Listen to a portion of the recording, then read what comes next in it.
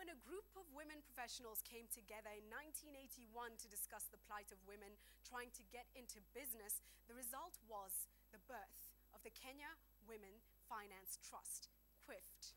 The women professionals, comprising bankers, lawyers, financial experts, managers, and trainers, made a personal contribution of 2,000 shillings each to finance the setup of KWIFT as a non-profit organization dedicated to uplifting the financial status of the girl child.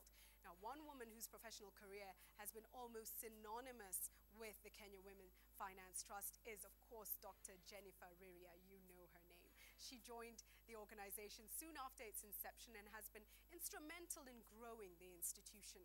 Today, Dr. Riria is Group Chief Executive of Kenya Women Finance Trust and Kenya Women's Holding Company, an organization intricately related to the trust, as we will find out a little bit later. Now, back to the trust itself. 31 years later, it is the largest deposit-taking microfinance institution in the country and the region with a cumulative asset base of 17.03 billion shillings as of December 31st last year. That's December 31st, 2011. Now, KWIFT has become so large that it has attracted the attention of the Central Bank of Kenya in regard to com complying with ownership structures of banks in the country.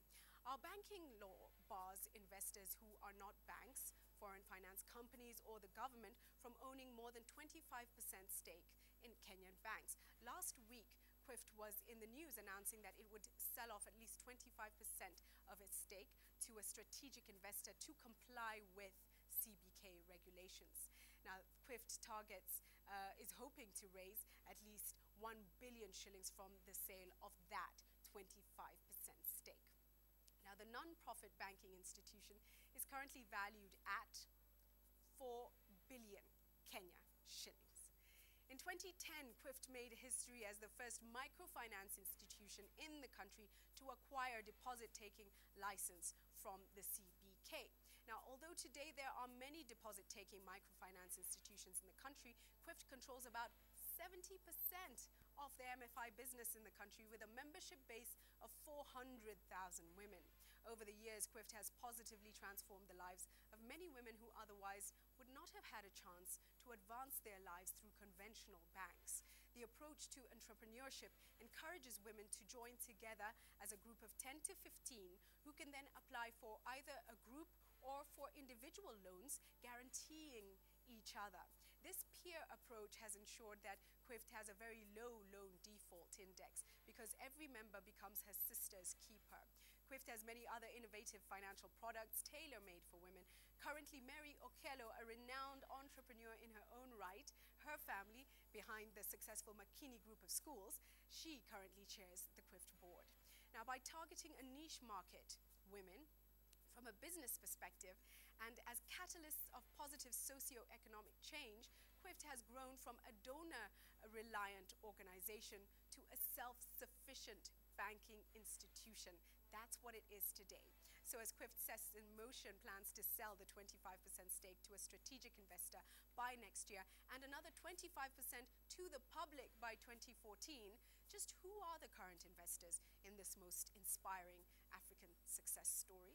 As we've seen, Kenya Women Finance Trust was not set up as your conventional commercial financial institution. It was set up as a non-profit organization limited by guarantee. Presently, what we can call the shareholding structure looks like this.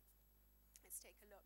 The Kenya Women's Holding Company Limited, we mentioned it earlier, headed by Jennifer Riria, holds 80% shareholding in Kenya Women Finance Trust. Employees of the Kenya Women's Holding Company Limited own, and of KWIFT own 20%. It's that simple. So if you're interested in investing in this social enterprise, prepare yourself for 2014 when KWIFT shares are likely to be available to the general public. It's good news. So let's take a look at our quote of the week now. And it reads, Many are the people who have missed an opportunity of a lifetime because the opportunity came dressed in overalls and looked like work. That's Thomas Edison, a very well-known American inventor.